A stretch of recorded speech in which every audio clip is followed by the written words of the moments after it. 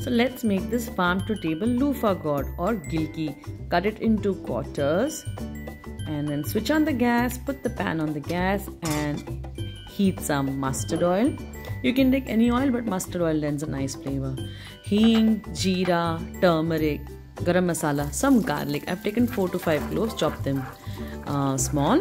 Jeera and Kashmiri red chili powder, turmeric, and garam masala. You can even use Maggi masala magic and namak, that is salt. Add some jeera in the hot sizzling oil along with the garlic. Then you can add some hing, add some turmeric to it, and then you add your gilki or your loofah gourd. Give it a nice stir and mix it well.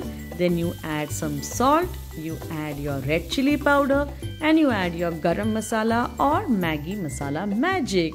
And add little bit of water, just a little.